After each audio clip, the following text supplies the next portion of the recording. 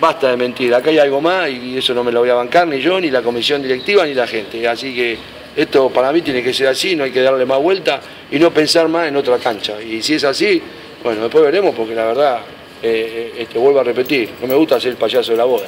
Chulo, volviendo al partido, eh, todos los que estábamos en la tribuna nos quedamos sorprendidos con el cambio porque todos pedíamos el cambio por Gral. La verdad hay que darte la derecha y te salió bastante bien. Y, sí, lo que ¿Cuál pasa fue la decisión más que nada? ¿El Gral en, qué, cuál, en cuál cambio? ¿Si ¿El Eh, Pérez Vizca o el de Nadal? En los primeros, en cualquiera de los tres no Ah, estábamos que muy sacarlo a. Fran. Sí. Lo que pasa es que Fran, muchacho, viene siendo el goleador nuestro. Tiene tres goles entre partidos y ya había hecho convertido en la. Es decir, la tres con este, pero anterior a ese. Anterior. él, eh, en la- también en los amistosos hizo dos goles. Si no es casualidad.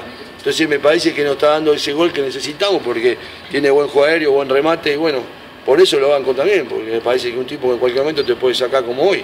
Y gracias a Dios salió bien, otras veces sale un desastre el cambio, porque el cambio, siempre digo lo mismo, ¿quién te, quién te asegura a vos que un cambio te puede andar bien o mal o regular? Nadie lo sabe, es una incógnita para todos, puede mejorar como puede empeorar. Y bueno, hoy por suerte lo dejé a Grala dentro del campo de juego porque podía tener estas cosas de sacar un gol de otro partido y lo hizo y con derecha y la clavó en blanco. Entonces estoy respetando hoy quizás el momento de él, de que está haciendo goles.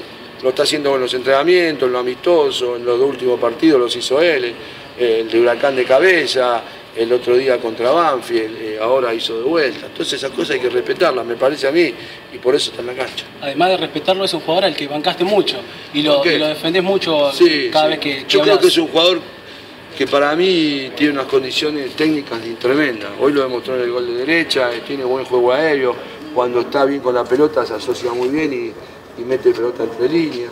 Pero bueno, él, recién ahora está teniendo la continuidad que esperaba porque nunca la tuvo. Y te vuelvo a repetir, desde que estamos nosotros dirigiendo al Almirante Brown, este grupo de jugadores y nosotros hemos sacado casi el 47% de los puntos, que es bastante a la situación que estábamos. Entonces, Hoy quizás no se jugó bien, pero otro partido que hemos jugado muy bien y no ganamos tres puntos, como Huracán y como Independiente de Mendoza.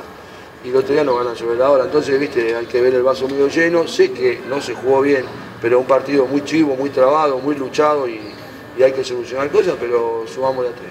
Hoy era un partido clave para quedarse Sí, con los tres sí, puntos. total, total porque nosotros así sacamos 19 puntos a Jujuy, 10 puntos al Dosivi, a San Carlos no lo dejamos levantar. eh, y bueno, y estamos peleando ese cuarto lugar, viste, con mucho más. Y Almirante está en esa.